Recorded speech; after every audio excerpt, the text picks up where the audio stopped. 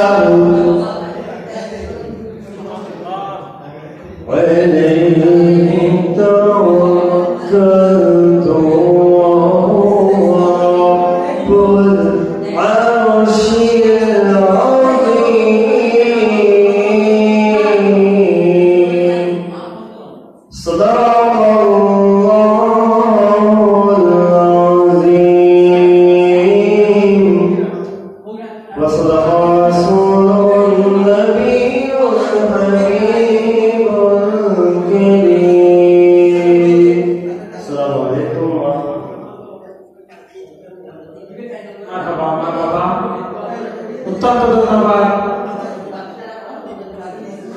শাহের মোহাম্মদ শাহাবুদ্দিন আল পান্তি তার পবিত্র কোরআন থেকে